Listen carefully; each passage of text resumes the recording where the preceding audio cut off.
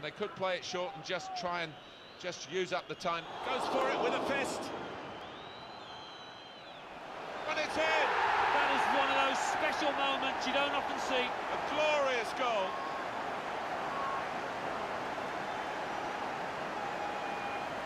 What a strike that was. Well, the keeper quite rightly asking one or two questions of his defenders who didn't react as quickly as the goal scorer.